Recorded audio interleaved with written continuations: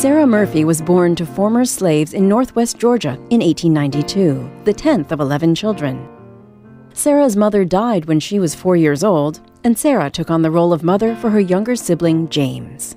Her younger brother was only two, and she ended up being the motherly caretaker of him. And I think she's always had the mothering instinct in her. Sarah was bright and by age 12 was earning money for her family by selling mail order flavorings, helping her father and stepmother purchase a 20 acre tract of land.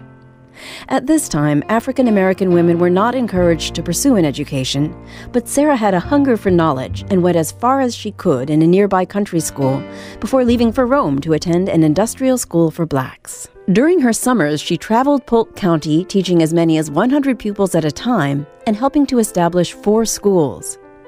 Sarah wanted to attend what she called the Big Negro University Complex, Spelman Seminary, later called Spelman College and her brother James worked on the railroad to help her get there. She educated herself at Spelman College and then became a teacher and, and came out to Cedartown and started an orphanage and a school. That rich history actually now takes place at Murphy Harpst Academy. She had thoughts that it would be so easy just to leave the country farmhouse and stay down there where there was good jobs and money, but she come back home.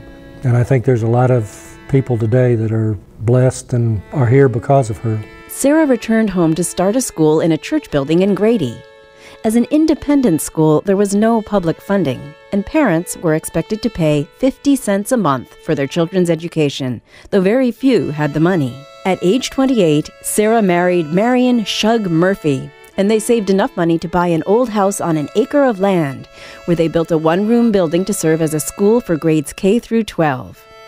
Sarah loved the children she taught and her greatest joy was when she gave birth to a daughter in 1925 and named her Divinia. Never one to turn down a student whose parents couldn't pay, Sarah soon found herself taking on much more. I think it all just fell in her lap. The first six children that she got, the mother, due to complications from childbirth, was on her deathbed, and she requested Sarah to take her children. I think Sarah had nearly 50 children in her home. I read just recently that on a monthly salary of $25, she was able to somehow keep up with these children and, and feed them and clothe them and do all the things that are necessary for these young people. Well, she had a good heart. She didn't like to see nobody suffer. No kid.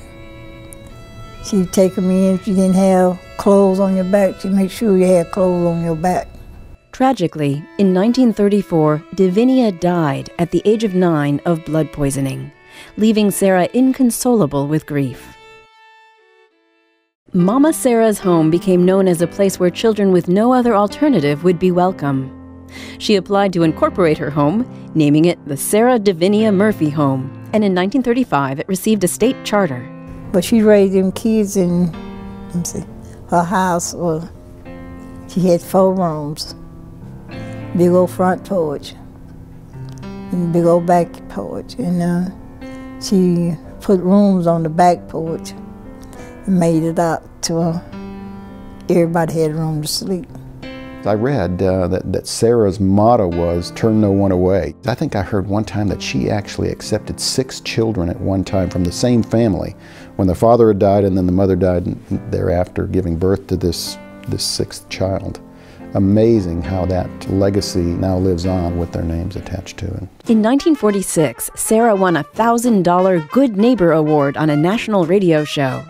And the exposure brought in donations, enabling them to add a new building to the compound. Campbell's carried her up to uh, Chicago to receive a $1,000 prize money. I'm sure that come in handy with the family operating the home. In 1950, a wood stove started a fire and completely destroyed the home. Sarah, Shug, and the children moved into the one room school building. Over the next couple of months, resources started coming in from Polk County, the state, the country, and even the world. Several months before groundbreaking on the new building, Shug passed away.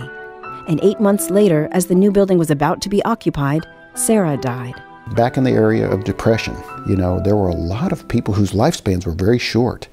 And they were working, you know, unending type of hours, and it took a toll. And so it wouldn't be un unusual for uh, you know the, the man of the family to die and then the woman of the family soon thereafter to die. Without Sarah's leadership and vision, the home floundered.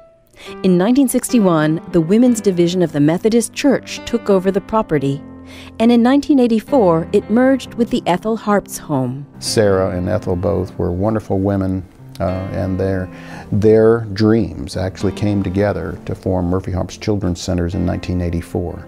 So that's when we became this niche type of organization. We, we serve those children who really don't thrive in the traditional foster care model. It has changed from what I've known it to be. They're still helping children. I think she would be pleased with having her name attached to it. We are so thankful to them for their vision. And uh, we hope today to carry on, you know, the vision for another hundred years.